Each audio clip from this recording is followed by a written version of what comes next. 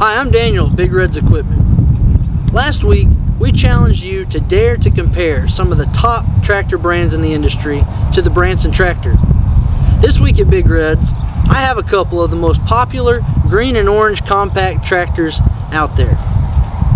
The John Deere 3038E and the Kubota L3901. They're both 37 horsepower tractors and have hydrostatic transmission. We bought these tractors so that you can see for yourself the value of a Branson tractor when put head to head with the big boys. Branson tractors are made by the well-known South Korean company Kukje Machinery, who currently supplies diesel engines for Cummins. With over 17 years experience in the industry, Branson tractors are known for their industry-leading lift capacity, heavy-duty frame, and ergonomic operator station.